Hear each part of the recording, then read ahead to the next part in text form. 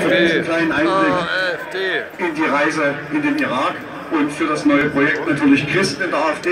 Wir werden dazu auf www.pegida.de einen Link veröffentlichen, wo ihr am einfachsten dann hinkommt. Schaut einfach mal dort rein. Und als nächstes darf ich begrüßen den lieben Carsten Hese, Mitglied des Bundestages für die AfD. Herzlich willkommen, Carsten Hese.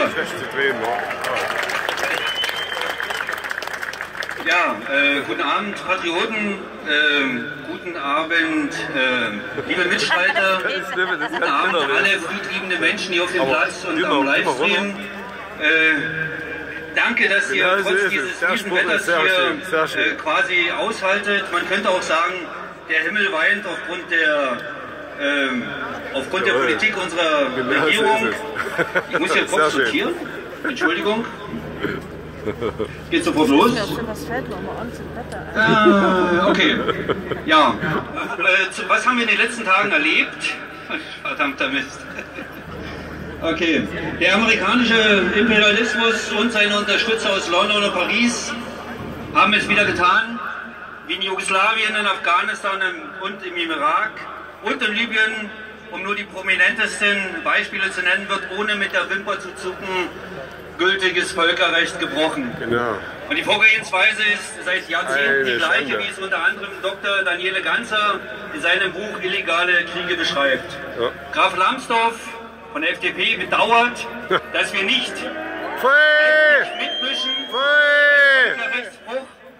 So wie hier das der Bürgermeister Hilbert hier in. Dresden wa? interessiert es auch Herrn Lambsdorff einfach da nicht, spielt das Volk keine Rolle. Aber wenn du die Wahrheit sagst, dann bist du der Nazi. Und, oh, und ewig. denen 78 bist Prozent du der ja- Deutschen eine Beteiligung Nazis. Deutschland Das ist das die kommen untertrieben. frisch raus. Genau so ist es. Also, Herr Lambsdorff, Eine machen Sie das, Schande, was der Postillon als Satire über Sie geschrieben hat, fliegen Sie mit dem Flugzeug nach Syrien, laden Sie Ihr Gewehr durch und springen Sie mit den Worten Über Jawohl. Syrien ab. Aber lassen Sie uns mit Ihren Kriegsgelüsten in. Ruhe. Ja. Wir wollen Frieden. Ja, so ist es. Genau.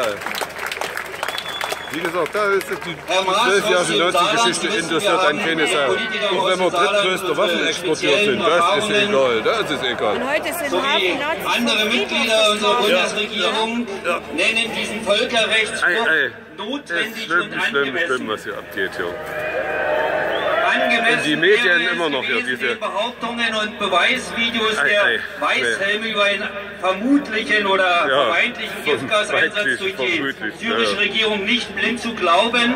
Die Ei, Weißhelme, Sie wissen das, eine aus Amerika und Großbritannien Ja, finanzierte Gruppe, Gruppe, schon genau. mehrmals nachweislich Falschmeldungen in Umlauf gebracht hat. Ja. Angemessen wäre es gewesen, die Untersuchung des der ist in Dubai abzuwarten. Angemessen wäre es, Hollywood die russische Regierung 2 nicht bis aufs. Messer zu Hollywood reizen 2.0. und damit einen Flächenbrand, Flächenbrand zu riskieren.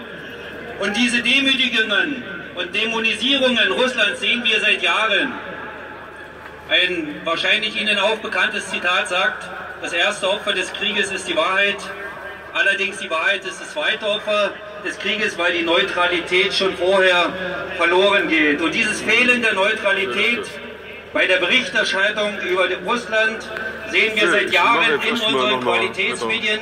Da wird gelogen, dass sich die werden Meldungen der Wenn wir, syrischen äh, Beobachtungsstelle ein einziger Mann in London für Menschenrechte ungeprüft mal wieder. verbreitet.